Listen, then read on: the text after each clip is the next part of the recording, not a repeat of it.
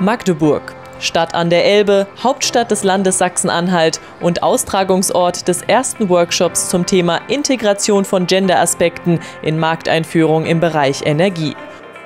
Kurzum, es geht um Frauen in der Energietechnik, Chancengleichheit, Lösungen und Innovation. In drei Workshops diskutieren Experten aus unterschiedlichen Bereichen. Spannende Fachvorträge sorgen außerdem für neue Impulse. Im Energiebereich sind einige Gender-Aspekte zu beachten. Ähm, zum einen geht es darum, äh, dass Technologie Männer und Frauen unterschiedlich motiviert, äh, wo Männer oftmals auch Energietechnik einkaufen, weil es eben ihnen erlaubt, ihr Haus mit neuer Technik auszustatten, wird die Frau oftmals hinterfragen, wo ist der Nutzerwert der Investition und äh, auch wird in Bezug auf Bedienungsdesign sehr hohe Anforderungen stellen an die Transparenz und an die Nutzerfreundlichkeit.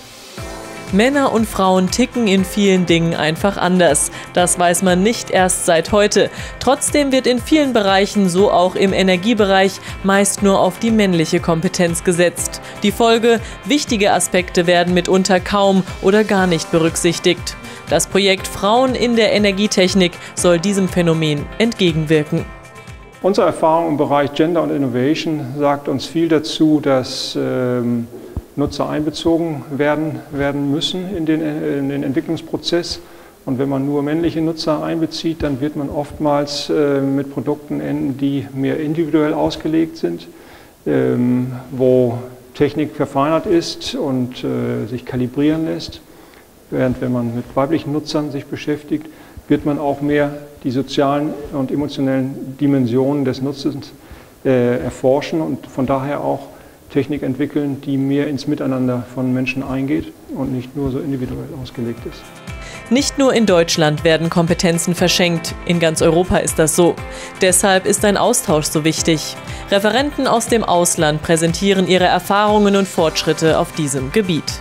Mein äh, Aufgabenfeld ist die Stadtplanung. Ähm, ist es sehr wichtig, auch äh, im Bereich der Innovation ähm, an die verschiedenen Alltagsmuster der verschiedenen Zielgruppen äh, zu denken und diese auch entsprechend zu berücksichtigen und ähm, insofern auch dann Entscheidungen äh, zu priorisieren, die eine Chancengleichheit gewährleisten. Mehr Frauen für den Energiesektor lautet die Devise. Dafür muss der Anteil von Frauen in der Ausbildung und vor allem im Studium von energierelevanten Themen erhöht werden. Lösungen, um dieses Ziel zu erreichen, sollen bei den Workshops ebenso erarbeitet werden. Alle Ergebnisse, Empfehlungen und aktuelle Entwicklungen werden am Ende des Projektes bei der internationalen Konferenz zum Thema Gender und Energietechnik in Stuttgart präsentiert. Das Fazit des ersten Workshops eindeutig.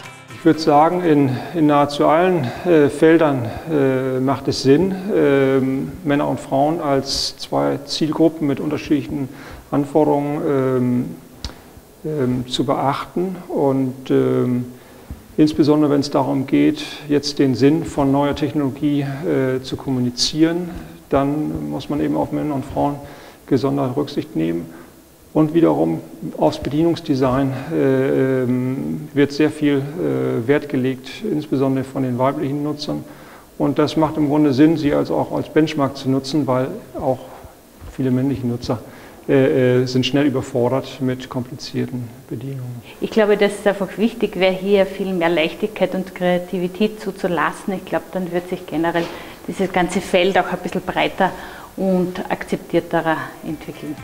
Leisten auch Sie Ihren Beitrag dazu und besuchen Sie den Workshop in Duisburg am 13.10.2016 und die internationale Konferenz im Februar 2017 in Stuttgart. Weitere Informationen finden Sie unter www.genergietechnik.eu.